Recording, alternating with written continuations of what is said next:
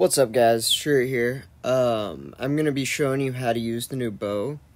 These are the best loadout and perks that I've found so far. Uh, Gunslinger is huge. It helps your pistol just destroy people. There are three main ways to use the bow. You have rushing, crossbow style sniping, and quicksilver sniping. First, I'm going to show you how to rush with pistols and knives.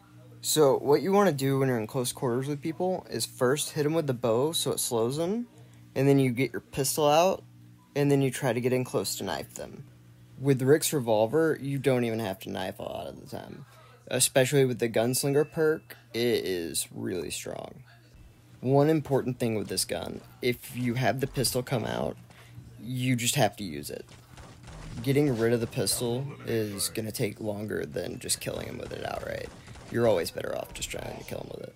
Next is crossbow style sniping. By scoping the bow, you increase the power meter and it increases its max damage.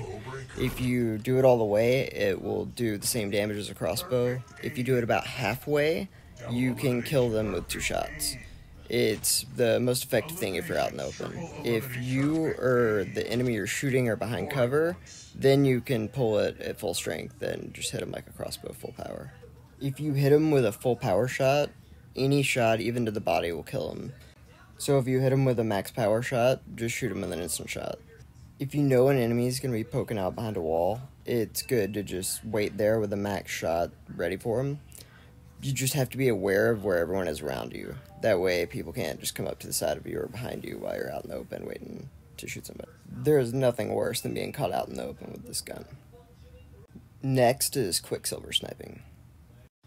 This gun can feel a lot like Icebreaker. You just go where a bunch of people that are low are at and get a multi-kill pretty fast.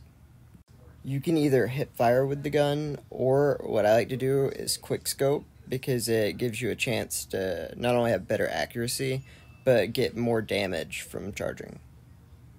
The one downside to using it as a Quicksilver or Icebreaker is you will run out of ammo really fast. So um, it's better to at least do some of your shots that are charged.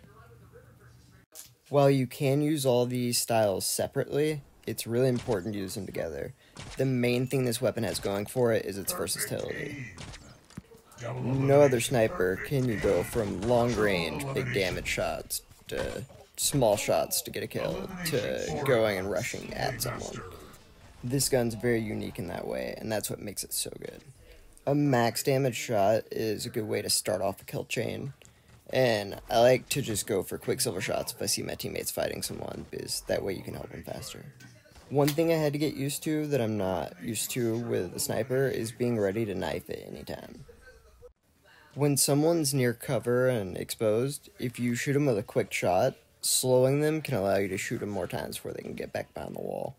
The slow effect on this gun is way underrated and not just the slow effect, but hitting them with the poison lets you know exactly where they're going. You can just follow where the tick damage is, and that's where they're going to be. I'm going to be using this bow a lot more this week and going to try to figure out other ways to use it and what the most effective ways to use it are. And uh, I'll get back to you guys. Um, thanks for watching, guys. I appreciate it. Have a great day.